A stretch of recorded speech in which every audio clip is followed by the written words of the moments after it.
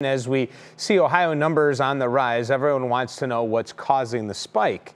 Well, this morning we are learning it may not be that people are being careless, rather just not careful enough.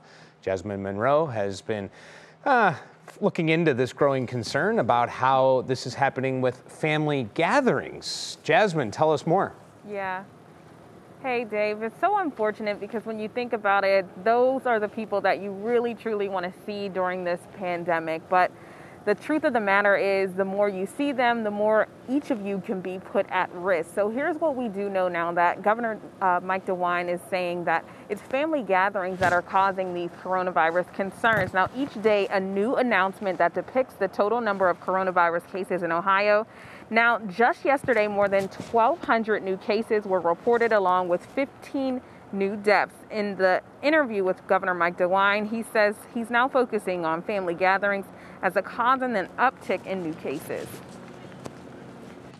Our tendency, I think, human nature is if you know people, you say, "Oh, it's probably okay. I don't need. I don't need to wear a mask."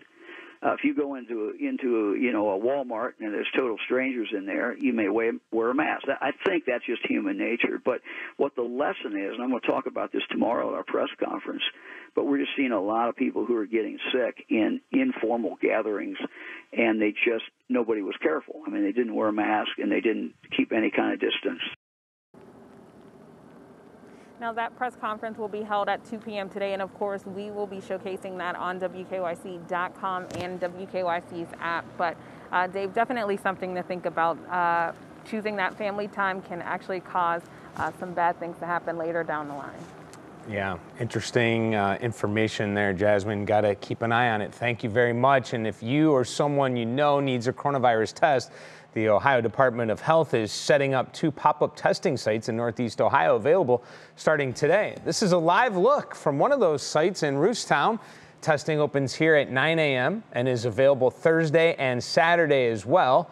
And this is uh, Northeast Ohio Medical University's parking lot B on the south side of campus. That's the other testing site is in Alliance. It opens at 1 this afternoon. There you go, until 5 this evening in the College Plaza on State Street.